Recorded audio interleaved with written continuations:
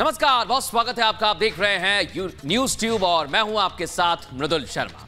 और सबसे पहले आपको बताएँगे, इलेक्शन कमीशन ने अब तक की सबसे बड़ी कार्रवाई की है। चुनाव आयोग ने अभी तक कई करोड़ रुपए कैश और सोने की जब्ती की है। आखिर कहाँ कहाँ से ये कार्रवाई की गई है, दिखाते हैं आपको इस रिपोर्ट में।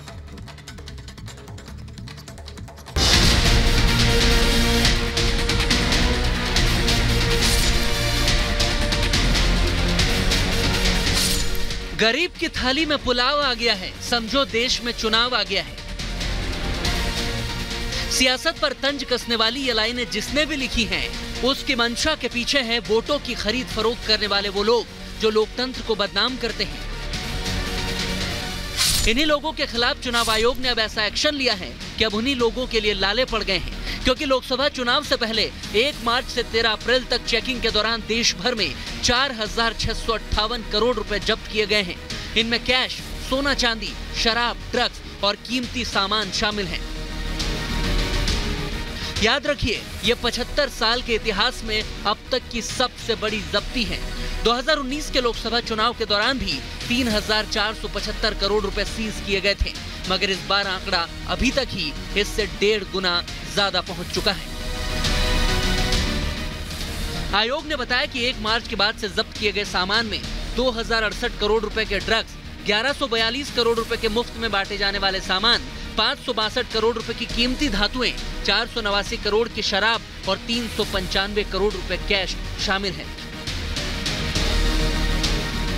यानी हर दिन करीब 100 करोड़ रुपए सीज किए जा रहे हैं। कर्नाटक में 345 करोड़, पंजाब में एक सौ बानवे करोड़, असम में 141 करोड़, मध्य प्रदेश में 103 करोड़ की जब्ती शामिल है।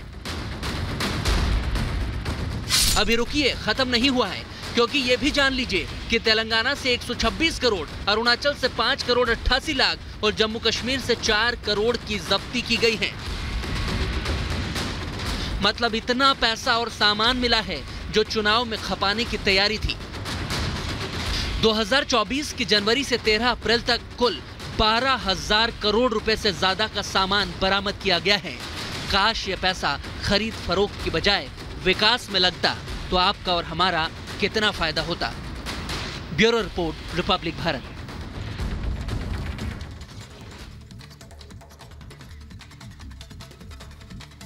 और अब आपको बताते हैं अरविंद केजरीवाल। अरविंद केजरीवाल मुसीबत में फंसते ही जा रहे हैं।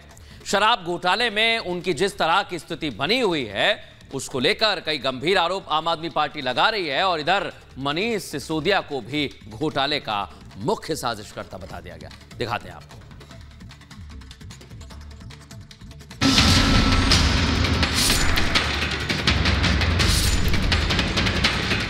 आरोप, समन गिरफ्तारी, कोर्ट कचहरी, पेशी और फिर जेल। केजरीवाल का 2024 कुछ इसी तरह निकल रहा है। हर कोशिश के बाद भी बस राहत नहीं मिल रही। तभी तो एक दिन में दो अदालतों से भी दिल्ली के मुख्यमंत्री के लिए कोई खुशखबरी नहीं आ पाई। शराब घोटाले के आरोप में तिहाड़ जेल में बंद। केजरीवाल पर सुप्रीम कोर्ट ने तुरंत सुनवाई से इनकार कर दिया। कोर्ट ने कहा 29 अप्रैल तक की तारीख हमारे पास नहीं है। आखिरी हफ़्ते में ही सुनवाई कर सकेंगे। और ये कहते हुए ईडी को नोटिस जारी कर कोर्ट ने जवाब तलब किया है। हमें पूरी उम्मीद है और पूरा भरोसा है। देखो अंत पंत में जीत तो सत्य की होगी सच्चाई की होगी। एक प्रोसेस है एक प्रक्रिया है। आपको उस प्रक्रिया और उस प्रोसेस से गुजरना है और उसमें जो भी न्यायपालिका निर्धारित करेगी हमारे लिए वो सर्वमान्य है। मनमाफिक काम नहीं हो तो सियासत तो होना लाजमी है। दिल्ली की राउज एवेन्यू कोर्ट ने भी केजरीवाल को तिहाड़ में ही रखने का आदेश दिया है, क्योंकि उनकी कस्टडी खत्म हो रही थी। ऐसे में पेशी के बाद कोर्ट ने केजरीवाल की न्यायिक हिरासत 23 अप्रैल तक बढ़ा दी है। अब पार्टी का कामकाज कैसे चलेगा? चुनाव का समय है तो प्रचार का क्या प्लान है? ऐसे ही कई मसलों को लेकर पंजाब के मुख्यमंत्री भगवंत मान और संजय सिंह जेल में केजरीवाल से मिलने पहुँचे। पर निकले तो मान भावुक होकर आरोप लगाने लगे।